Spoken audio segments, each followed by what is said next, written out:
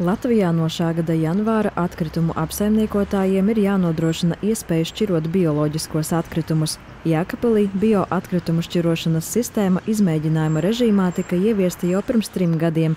2021. gadā pilsētā tika izvietoti pirmie brūnie konteineri, pakāpeniski palielinot to skaitu, un šobrīd pie Jēkabils daudzdzīvokļu mājām pieejami 38 konteineri.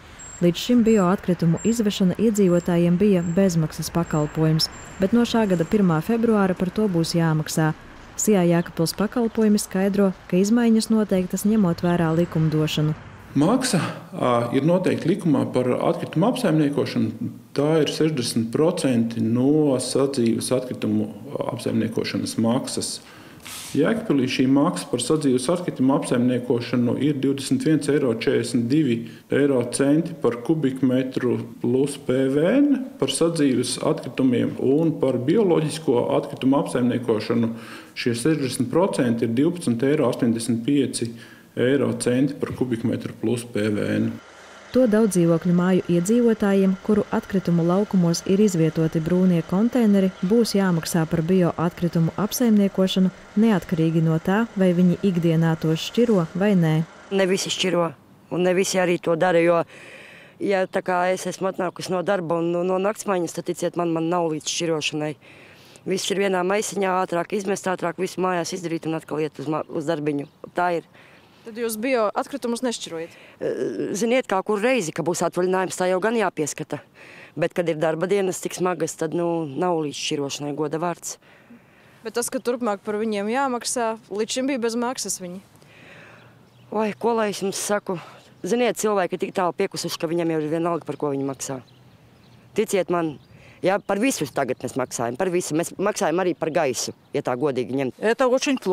Tas ir ļoti slikti, jo mēs esam pensionāri. Pensijas jau tā ir mazas, un tagad vēl šis klāt.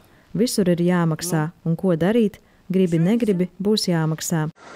Uzņēmumā Jēkabils pakalpojumi uzsver, ka gadījumā, ja kādu daudzdzīvokļu māju iemītnieki vēlas atteikties no bioloģisko atkritumu konteinera, ir jāvēršas pie mājas apsaimniekotāja. Viņi uh, var atteikties, sarīkojot, uh, nu, informējot par to mājas apsaimniekotāju un sarīkojot mājas dzīvokļu īpašnieku sapulci, kur attiecīgi nolemj, ka nē, ka viņi to negrib.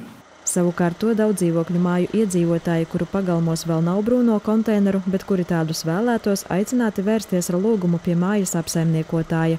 Jākapils pakalpojumi gatavi nodrošināt bioloģisko atkritumu šķirošanas iespēju arī privātmāju iedzīvotājiem un juridiskajām personām.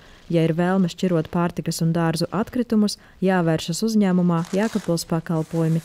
Līdzšinējā pieredze liecina, ka iedzīvotāji bioloģiskos atkritumus šķiro diezgan apzinīgi, tomēr ir gadījumi, kad konteineru saturā ir nederīgi piemaisījumi. Šobrīd ir klātī daudz plasmas piemaisījumu, un, un, un tur būtu vairāk jāšķiro šiem atkritumiem, bioloģiskiem atkritumiem. Teiksim, viņus ērtāk ir ievietot papīra maisos, vai arī būtu jāizvēlās bioplasmas maisos, kas noārdās.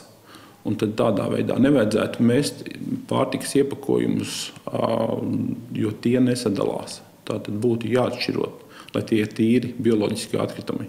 Pagaidām šie piemaisījumi nav ļoti daudz, bet, bet viņi varētu būt tas, ko mēs dzirdam no saviem šoferiem, tad nu, šī kvalitāte varētu būt labāka.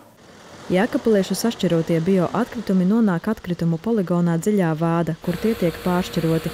Ja nederīgo piemaisījumu būs pārāk daudz un poligona speciālisti saturu atzīs par nederīgu kompostam, tad par šiem atkritumiem tiks piemērota sadzīves atkritumu apsaimniekošanas maksa, kas ir par 40% lielāka. Tādēļ iedzīvotāji aicināti šķirot atbildīgi, lai bioloģiskie atkritumi būtu tīri, bez piemaisījumiem. Atgādinām, brūnajos konteineros drīkst mest pārtikas atkritumus bez iepakojuma, ēdienu atliekas, piena produktu atkritumus izņemot šķidrumus, termiski apstrādātus gaļas un zivju produktus, dārza atkritumus un izlietotas papīra salvetes. Savukārt tajos nedrīkst mest termiski neapstrādātus gaļas un zivju produktus, iepakojumus, zemi, akmeņus, pelnus, izdeģus, asinizācijas atkritumus, sadzīves atkritumus un šķidrumus. Sandra Paigļkāne, Kaspars Daņļevičs, Vidusdaugavas televīzija.